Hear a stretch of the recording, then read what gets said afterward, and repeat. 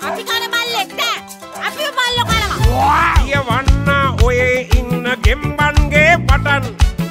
කවුරුත් දන්නවා මගේ පොලිටිකල් පැටන් ජයශ්‍රී ඇමතිතුමා මං හිතන්නේ ලංකාව අපේ අපේ අපේ සමාජයේ පැතිකඩක් තමයි කතා කරේ මේකේ මෙතෙන්ට ඇවිදිල්ලා අපි hina වෙනකොට ටිකක් වෙලා ගියහම හිතෙනවා අපිටම නේද මේ අපි hina වෙන්නේ කියලා.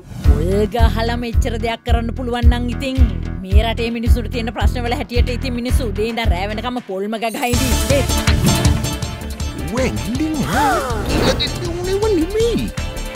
ඉදිරියට කියන්නත් එපා.